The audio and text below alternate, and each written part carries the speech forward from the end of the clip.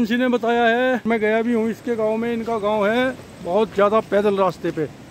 कितने किलोमीटर पैदल चलते थे गाँव जाने के लिए? दो किलोमीटर। दो किलोमीटर से तो ज़्यादा है धोला से मैं जा रखा हूँ। पाँच छः किलोमीटर है। है ना? तो फिर ऐसे जो है फिफ्थ के लिए फिर यहाँ आए हैं। और अब बताओ क्या आगे ड्रीम है? क्या बनना चाहोगे? पुलिस। में जाना चाहते हैं। क्यों? हमारा सपना पुलिस हैं? हमारा सर सपना पुलिस सपना पहले से ही पुलिस में जाने का है हिमांशी का। और बहुत अच्छा है। तो अभी आपको एक माहौल अलग मिलेगा। हॉस्टल में रह के पढ़ना पड़ेगा। तो मैं बताऊँगा कि ये बच्चे तो पहले से ही इंडिपेंडेंट होते हैं। ये बताया जैसे चार बहनें हैं ना। तो छोटे छोटे बच्चे सेल्फ सफिशिएंट हैं। ये यहाँ खुद रह के अपना पढ़ाई करते हैं अपना खाना पीना खुद बनाते हैं तो इनको लिए स्वावलंबन कोई ज़्यादा बड़ी बात नहीं है।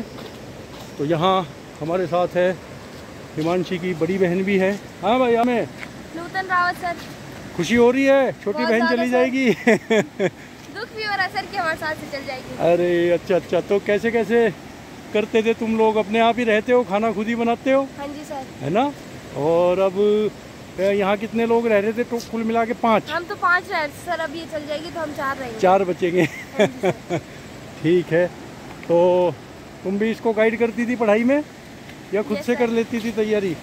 कभी कभी बोलते थे सर हाँ। जब नहीं आता सर तब पूछती थी। अच्छा बाकी अच्छा। सर बोलने की ज़रूरत नहीं थी खुद ही करती खुद ही करती थी। मतलब जैसे तुम्हारे मम्मी पापा भी भाई ना साथ नहीं रहते तो फिर खुद से ही अपनी खुद सारा काम खुद पढ़ाई खुद से करते हो आप लोग है ना? चलो बहुत बढ़िया। तो हिमांशी आओ जरा। दीदी के साथ अपनी तो दीदी से क्या सीखा तुमने? बड़ी तुम ही हो सबसे इनमें? हाँ।